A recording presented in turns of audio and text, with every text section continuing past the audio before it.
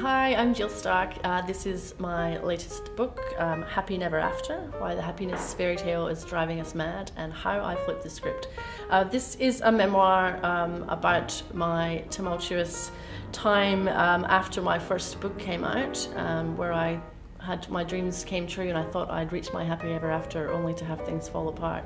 I suffered um, a, a, breakdown where I've had anxiety and depression throughout my life, but this was quite epic. Um, and it made me realize that all the things that we think will make us happy actually could be red herring. So I then went on to investigate that and find out, you know, what is it that's driving so much of our sense of disconnection and um, anxiety in this digital age.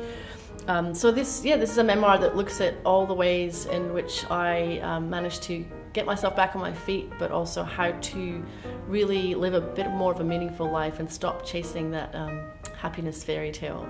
So yeah, you can get it on booktopia.com.au. Uh, thanks for having me.